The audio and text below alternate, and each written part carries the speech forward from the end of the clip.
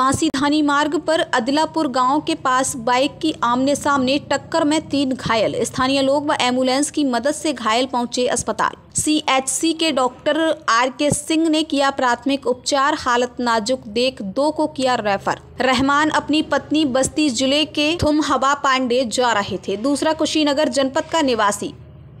बांसी कोतवाली पुलिस मौके पर आगे की कार्रवाई में जुटी।